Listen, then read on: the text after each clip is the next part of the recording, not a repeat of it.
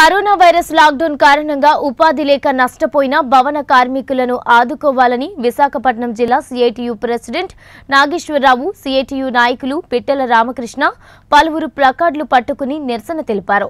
ఈ సందర్భంగా CITU secretary దిశారి Gangaraju మాట్లాడుతూ కరోనా వైరస్ కారణంగా రాష్ట్రంలోని భవన నిర్మాణ కూలీలు బ్రతుకులు అతలాకుతలమైన పరిస్థితుల్లో కేంద్ర రాష్ట్ర ప్రభుత్వాలు వారిని ఆదుకోవాలని ఆయన అన్నారు. కేరళ ప్రభుత్వం భవన నిర్మాణ కూలీలకు నెలకు పదివేల రూపాయలు అందిస్తుందని అదేవిధంగా ఆంధ్ర రాష్ట్ర ప్రభుత్వం కూడా ఇక్కడ కార్మికులకు కూడా అమలు చేయాలని డిమాండ్ చేశారు. మనం ప్రస్తుతం విశాఖపట్నం జిల్లా అరకు ఏజెన్సీలు ఉన్నాం. ఇక్కడ తాపీ మేస్త్రులకు సంబంధించి గిరిజన సంబంధ గిరిజన సంఘానికి సంబంధించినటువంటి నాయకులు ఉన్నారు. ఏదైతే సిఐటియుకు సంబంధించిన పెద్ద నాయకులు సిపిఎంకి సంబంధించిన నాయకులు అందరూ కూడా ఇక్కడ ఉన్నారు. ఇక్కడ తాపీ మేస్త్రులు ఈ కరోనా వ్యాధికి సంబంధించి బతకడానికి కూడా బతుకు ఇబ్బంది పడే కార్యక్రమం ఇక్కడ జరుగుతుంది. ఈ తరుణంలో తమిళనాడు తరహా తమిళనాడు అక్కడ కేరళ సారీ కేరళ రాష్ట్రంలో అక్కడ పనిచేసేటటువంటి తాపి మేస్త్రులకు పదివేల రూపాయలు అక్కడ ప్రభుత్వ ఆర్థిక సహాయం అందిస్తున్న తరుణంలో అదే మాదిరిగా మాకు కూడా అందించాలి. ఆ పరిస్థితులు మాకు కూడా ఉన్నాయి కనుక మాకు కూడా ప- పద్ధతి పాటించాలని చెప్పి అనే పద్ధ పరిస్థితులు ఇక్కడ కనిపిస్తుంది. కనుక ఇక్కడ గంగరాజు గారితో ఒకసారి మాట్లాడదాం. ఏమంటారో వాళ్ళ మాటల్లోనే విందాం ఈరోజు అదే ఈ కార్యక్రమానికి అలాగే ముందుగా నా పేరు డి గంగరాజు అండి. ఇక్కడ అనంతగిరి మండలానికి సిఐటి సెక్రటరీ. ఇక్కడ మాకు సిఐటి అసంఘటిత రంగం కార్మికులలో పనిచేసేటటువంటి కార్మికులు ఈ లాక్డౌన్ సమయంలో అంటే ఈ లాక్డౌన్ డౌన్ కాలంలో చాలా నష్టపోయి కార్మికులంతా చాలా ఇబ్బంది పడుతున్నారు.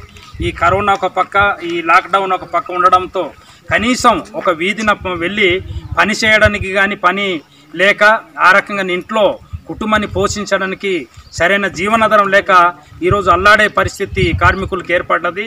ఈ భవన నిర్మాణ కార్మికులు అయితే వాళ్ళు అదే అదే పని చేసి పూట గడుస్తున్న పరిస్థితుల్లో ఈరోజు వాళ్ళకి పనులు లేక ఈరోజు ఆ కుటుంబాలంతా ఈ లాక్డౌన్ కాలం అంతా చాలా అల్లకల్లంగా పరిస్థితి ఏర్పడ్డది. కాబట్టి మేము మన రాష్ట్రంలో ప్రభుత్వానికి మేము ఒకటి అడుగుతున్నాం. ఎందుకంటే కేరళ తరహా కేరళలో అయితే మనకు ఇంచుమించుగా అక్కడ పదివేల రూపాయలు ఈరోజు తాప్ మేస్త్రులకి ఈరోజు అక్కడికి ఇచ్చి ఆదుకోవడం జరిగింది.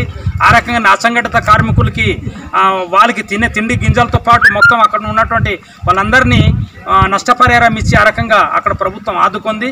అక్కడ మనుషులకే కాదు అక్కడ ఆ ప్రాంతంలో ఉన్నటువంటి అంటే వన్యప్రాణులకి జంతుజలను కూడా ఈరోజు అక్కడ ప్రభుత్వం ఆదుకోవాల్సిన పరిస్థితి వచ్చింది.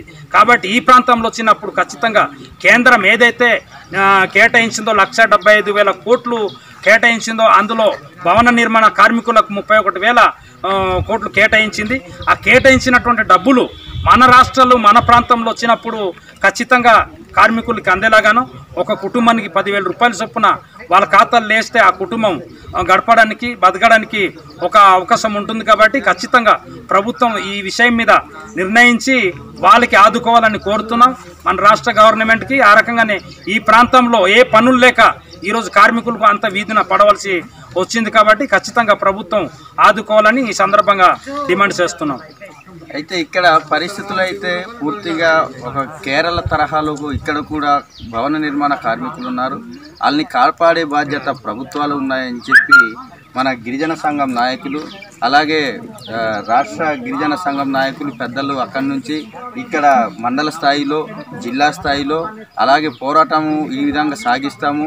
ప్రభుత్వం ఖచ్చితంగా మాకు ఆదుకోవాలనే ఒక ధోరణితో మా నిరసన అనేది మేము తెలియపరుస్తున్నామని చెప్పి అనే పరిస్థితి ఇక్కడ కనిపిస్తుంది కెమెరామెన్తో బొర్రా జంక్షన్ మధు.